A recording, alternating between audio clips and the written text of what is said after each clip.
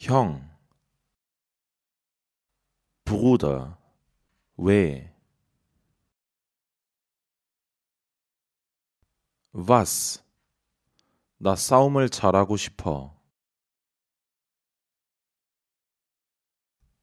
Ich möchte gut kämpfen. 그래, 뭐 하게. 야, warum? 누구랑 싸워야 해?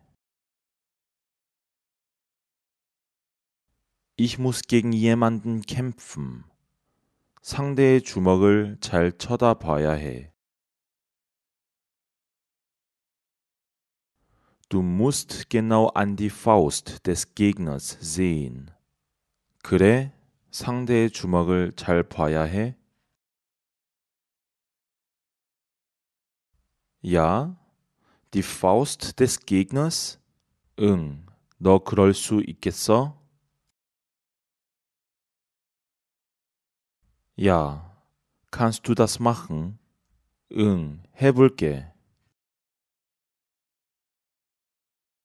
Okay, ich versuche es.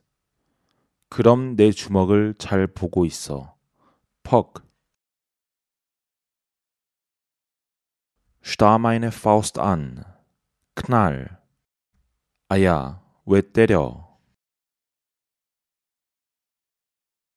Aua. Warum schlägst du mich? 아, 맞다. 미안. 한 가지 더 있어.